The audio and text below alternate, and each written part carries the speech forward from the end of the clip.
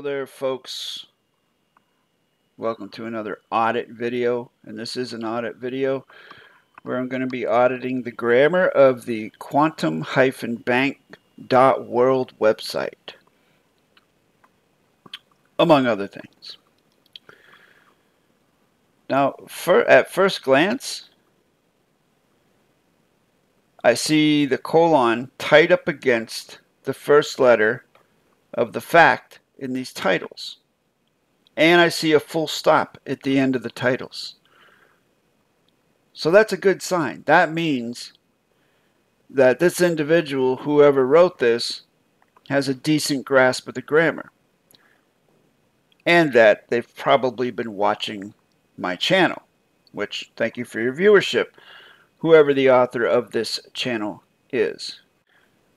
We start to see clues of who the author is or who taught the author their grammar.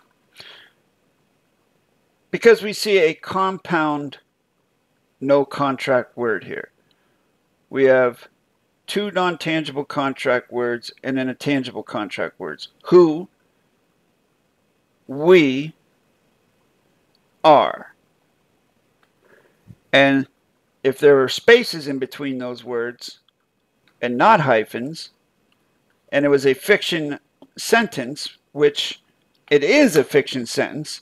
It's just someone just took a fiction sentence and hyphenated it and put colon in front of it to make it appear to be correct sentence structure, but it's not, folks. But if it was who we are in the fiction, that would be a pronoun adverb dangling participle verb. So why would you put a pronoun, adverb, dangling participle verb, hyphenate it, and try to make it correct sentence structure unless you didn't know what the hell you were doing? Keep in mind, folks, when you're writing out your correct sentence structure, those facts that come after those colons must be given closure to in a dictionary, in your contract dictionary, because everything is contract. So, home would have to have a correct sentence structure, finite mean closure.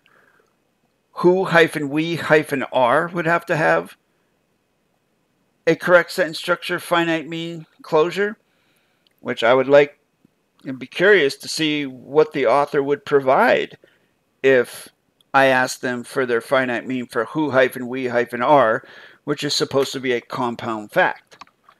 Not only that, but they would also have to give closures to who, WHO, They'd have to give closure to we, W-E, and they would also have to give closure to R, A-R-E. So that's four finite means for that one compound fact, which it's quantum gobbledygook, folks. So let's scroll on down here, and then we see for the starting, we see a particle of negation no contract modifier in this fact here. Oh, and then we have a positional ON. Have you ever heard of a positional ON? I know there's for of, with, and by. Because for is congruent with by, of is congruent with with. For is the cause, of is the concern, with is the possessive, and by is the authority, i.e., one word, one meaning, one function, one congruency, one and one is one, but then we have on. So if we already have a cause, we already have a concern, we already have a possessive and authority, then what is this? What is on? What, what function does on serve? It's a rhetorical question, folks. And then we have is with a claim of the life. So the positional sequencing is incorrect. The concatenation is incorrect. and it voids the mathematical interface because it doesn't end on an authority. Remember when I said for is congruent with by? Well, there's no by here. So you can't read this backwards. It wouldn't read for the life of a claim. It would have to read with the life of a claim. And according to the rules of correct sentence structure, communication, parsing, syntax, grammar, according to the mechanics, every sentence must start with a cause, whether you're going forwards or backwards. So it's with the life of a claim is, and then what, what is congruent with on? Not, not, let alone the function. What's the what's congruent with it? If for is congruent with by, of is congruent with with, and on I guess off would be congruent with it. So it's off the quantum path by the starting. So again, this is quantum gobbledygook. It does not maintain the mathematical interface when you read it backwards, let alone forwards. Because in the mathematical interface, 1 plus 2 equals 3, 3 minus 2 equals 1, the factors, the 1, 2, and 3, remain the same. They retain the same value forwards and backwards. But when you look at the facts in this, life, claim, quantum path, and starting, they don't maintain the same value forwards and backwards because on the quantum path, meaning in my mind, you're on something, then when you read it backwards, it's off the quantum path. Now the quantum path is different. You're not on it anymore, you're off it when you read it backwards. So again, this betrays a critical deficiency in the knowledge level of whoever the author is. Uh, latest news for the latest closures and data of the quantum bank. Let's see what this says. Federal Reserve System. For the Federal Reserve System authorization, but oh my goodness. They put an authority before the verb. The authority always comes at the end, folks, because by is congruent with for in order to maintain the mathematical, the integrity of the mathematical interface. So whoever wrote this is, wow, critically deficient in knowledge. Folks, this word comptroller is really funny. Uh, I actually looked it up and throughout history, when you go back in history, comptroller was a misspelling of the word controller, which has a particle of negation in it. Yes, I know. But comptroller was an actual misspelling historically of the word controller. But for some reason, it stuck. So that title, comptroller, is based on a mistake and a misspelling. Isn't that funny? Okay, so we have, let's go to the last positional of the fence secretary with the James of the Mattis. And then you have a colon here, folks. And then you have all caps in italics Donald J. Trump. So what do I see here? According to correct sentence structure mechanics, according to fiction styles manuals, and according to most people that know about this stuff, italics are not on the page. They function the same as brackets, quotations. It's not there. So what do we see? We see a colon, a space, and because Donald J. Trump is not there, there's another space after the P. So that's a double space after this colon, which is a break in the continuance of the evidence because it is excessive spacing. You would never use italics in this way. And again, to prove it down here again, here we go again. More italics. See? All the way down to here. So you have a, a large space here, and then a space after Citibank. Let me move my picture here. Citibank. See? See this space right here? And this space here. Not only that, you have ampersand, colon space, and then because this is not here, because this is in italics, you have hyphen tilde Bern hyphen tilde Switzerland. So you have ampersand colon space hyphen tilde Bern hyphen tilde Switzerland period.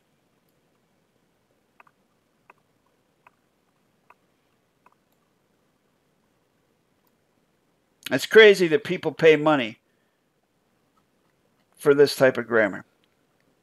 Now you see, now you see the colon space, colon space, colon space. All of this is incorrect. Colon space, colon space, colon space. And we have the dangling participle colon, the ever famous dangling participle colon. Not going to click on any video here because the last time I tried to do any kind of reaction or audit video to their, these people's stuff, they immediately contacted YouTube to try to get a copyright strike against me to try and get my channel taken down. Because they can't do anything with correct sentence structure, so they try to attack me through the fiction. Another dangling participle colon so many mistakes here. So many. Oh, look at this. Spanish contract translations. I will tell you what. That is 100% bullshit. Because I know the individual who worked with them on that. They worked with the people, Russell's followers, whatever Russell's cult, the person that I know worked with them to do this, started to. But the person that worked with them didn't know the grammar at the time. They had a little bit of knowledge about it, but they didn't know it. And so what they shared with them was wrong. It was incorrect grammar, and yet these people took this Spanish translation into quantum grammar and started selling it. Never mind that they didn't give the guy that I'm talking about any credit. They didn't pay him, didn't give him credit. They just took his his shit and stole it and began selling it. I know the guy because he's my student now, one of my best students. Not going to say their name, but this man so much scamming going on here, folks. So much. They're selling Claim of the Live, uh, Claim of the Live Life for two hundred dollars. Okay, folks, ladies and gentlemen, boys and girls, children of eighteen or over. Personally, and this is the position I have held since I started this stuff back in 2017 no one should have to pay for a claim of the live life. No one. No one, no one, no one. It should be available to everyone for free. Everyone should have the opportunity to create their own claim of the live life. Anyone who wants to sell it or to try and bottleneck the concept is obviously trying to make a buck, number one, and number two, trying to maintain control over people. Someone like that would probably put their name in the copyright copy claim section of a live life claim so that they own the live life claim of the individual they're selling it to. So if you're buying this claim of the live life for $200, you're buying this document, but you're also giving the author of the document, i.e., Russell J. Gould, ownership and copyright copy claim of your live life. It's that simple, folks. It's that simple. So I've I've always felt that it should you shouldn't be charged for it. Prior to 2018, no one was charged for a claim of the live life. I even have a video with David Wynn Miller standing giving a seminar with Russell J. Gould right beside him, and David says literally, "Do not send us your live life claims. They're yours." You take them and do what you're going to do with them. We don't need them. You didn't need their permission. You didn't need David's thumbprint. You didn't have to pay for it because he gave you a template in his book or on his website. and it was up to you to figure out how to do the rest. When David passed away, suddenly everything changed. Now, suddenly, everything's behind a paywall. Suddenly, the witness mechanics have changed. Whereas before, you had to have three live life claim witnesses to certify that you are a living, breathing creature. Now, you only need one claimant. And it's one particular claimant, and his name is Russell J. Gould. And he doesn't even need to witness you. He doesn't even have to meet you or see you or anything. He just needs a fiction driving license or a fiction passport or a fiction social security card. You send that to him, and then uh, just like on a com- conveyor belt, he just uh, autographs, thumbprint, boom, out the door. There's another 200 bucks. There's a live life claim. Done. And it's not correct grammatically and it's not correct mechanically because no one has witnessed you. Sure, he witnessed your fiction credentials, but he didn't witness you. He never met you, never looked you in the eye. He doesn't know if you're really a living, breathing creature, but he knows you exist in the fiction. So, I digress. No one should have to pay for a claim of the live life. Well, it's your choice if you want to pay for a claim of the live life. But the option is available to you to create your own if you know the grammar. You can create your own claim of the live life. So let's go to the frequently asked questions. Of the fake hyphen teachers and of the space with the space fiction websites. Oh my goodness. This is terrible, horrendous grammar. Thank goodness Oh, here we go. Dangling participle colon. Thank goodness most of it is in the uh, is in brackets.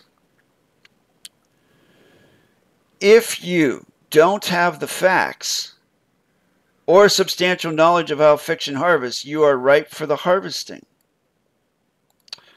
Well, it takes one to know one. And these folks are doing a hell of a lot of harvesting with their $200 live life claims and their $75 bridge passes. I'll tell you that right now. And the people that come onto this website, they don't know it. They don't know they're being harvested. But that's up to them to find out, folks. Seriously, it's up to them. Everybody can make their own choice. I get into these conversations with people all the time where, oh, people don't know any better. Oh, they were tricked. They were fooled. They were led wrong. Well, folks, being led is a choice. If you choose to follow someone, that's your choice, ladies and gentlemen. No one is twisting your arm or holding a firearm to your head telling you that you have to follow RJG or, or whoever. No one. No one's twisting your arm to watch this video. It's all a choice. Always keep that in mind. It's a choice. If your website or teacher is not on our authorized list, then beware. Teaching incorrectly has led to jail time, money stolen, and worse. That's really funny. Money stolen coming from this guy. Claim of the lives without authorization or joinder. Chief is the sole shareholder to the technology since Dave Miller surrendered the flag and since passed away. Well, my comment on that, my position on that is, well, there's a couple things. They said Dave Miller surrendered the flag. So that means that there was some sort of conflict, correct? Just right off the rip, looking at the, the basis of what the wording here. So if you surrender, that means you were fighting, right? So if you surrender, that means you were coerced into giving something up because you were beaten. And war negates contract.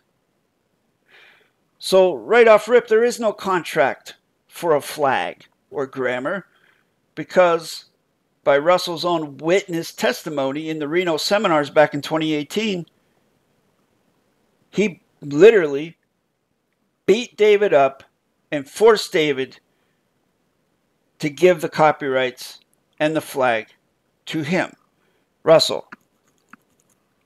So that's basically rape and coercion. So my position is there is no contract for that stuff because war negates contract and what happened there was an act of war. Not only that, but show me any correct grammar that this guy has done. In order to even begin to think about claiming a copyright of a correct grammar, you would first have to be able to use that correct grammar. It stands to reason, right? You have to have closure because this whole thing is about closure. And whoever wrote this stuff, whoever wrote their claim of the live life that they're selling for 200 bucks, whoever wrote Russell's contracts, quite obviously does not have closure on the grammar, which I have shown again and again and again and again. Fake or fiction names. Lady Crown is a made up name on a proclamation, not a legal name. So there's a hint, ladies and gentlemen, there's a red flag for you. Russell J. Gould and his people obviously only cognize legal names. And what is legal? Legal is fiction system. So if you only recognize legal names, then you're part of the legal system. With a live life claim, as you, as creator of that, a creative, living, vital force, you can use whatever name you create that you want to create. If you want to use an upper and lower case uh, fiction name that perhaps was on your birth certificate, you can do that. As long as you, you know, create it in a consistent upper lower case style. Or you don't even have to use that name. You can create one on your own. Who is he or anyone else to tell you what you can create, what you can't create, and what your name is or what your name isn't? This is fiction system mentality, folks. The fiction system tells you that's your name on your birth certificate. This is your legal name. That's effing illegal, right? This is fiction concepts. These are fiction concepts, okay? Lady Crown can use whatever name she wants to if she authorizes it. If these yahoos don't want to contract with her, they're obviously not going to contract with her. But that's the name she chooses to use as the authority of her construct.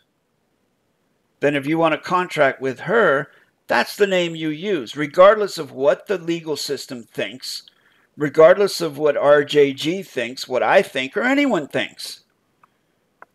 Do you get my point? Authority is rooted in knowledge. Authority comes from the author. The author makes the rules.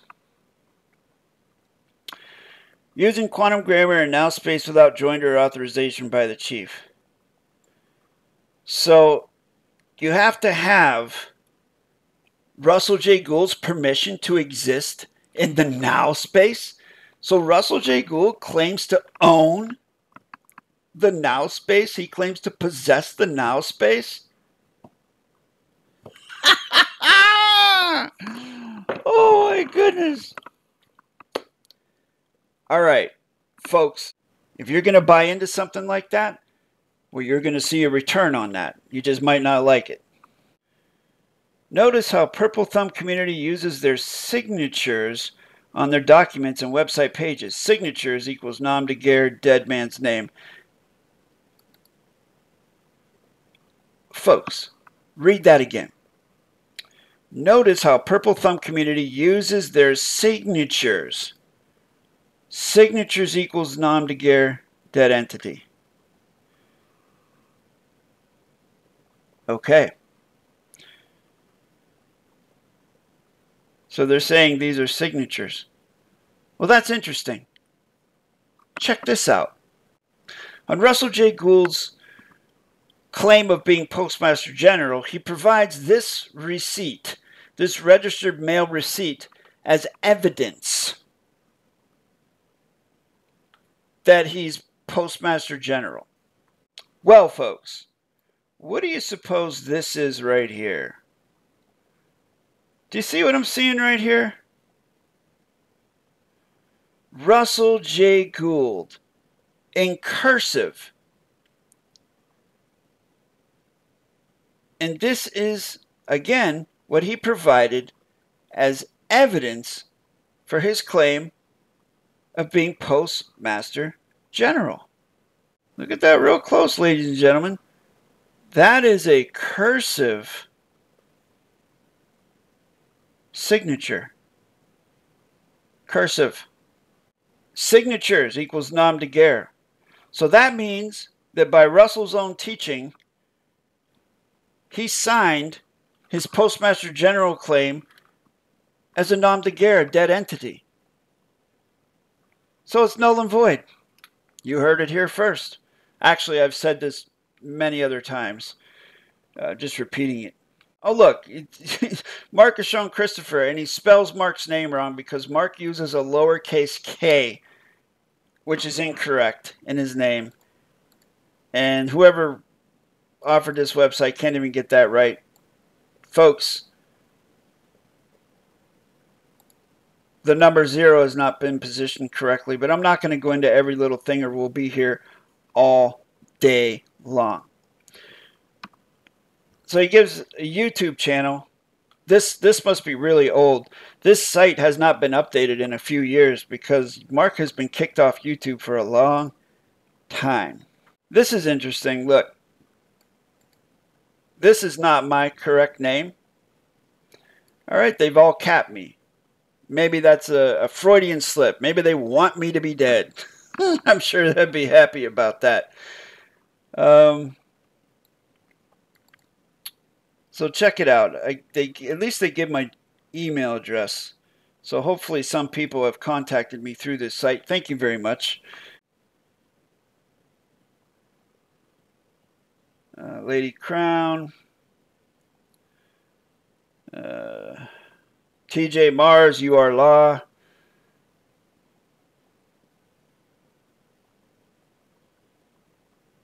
Richard Majon.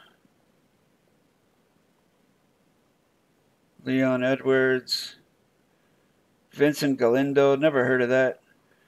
Okay, so I've heard of most of these people, but mostly these people that are mentioned on this list are just people that don't want to kiss Russell J. Gould's ass. Whether they have closure on the grammar or not, I'm not going to go into here.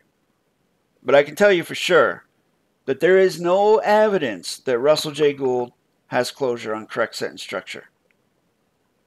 And I've just proven that again for the umpteenth time. Let's see if we have any other things we can look at here. If this will set us free from the system, why do we need to pay with the system money to be added to it? Shouldn't this not only be free but also be easy for the native land-born man? And the answer is you are welcome to study, learn, and navigate for yourself. Those wishing joinder with the chief and learning technology is presented, however, may choose this path suits them. May choose this path suits them?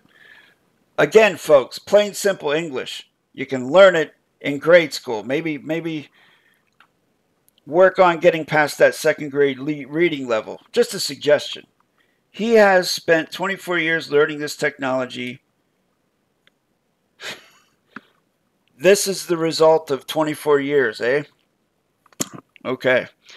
And when no, no one else took the helm, claim of the life is for those wishing to be out of the birth certificate system now and sovereign for themselves. Okay, so let's take, for the last thing we're going to talk about here, you are welcome to study, learn, and navigate for yourself.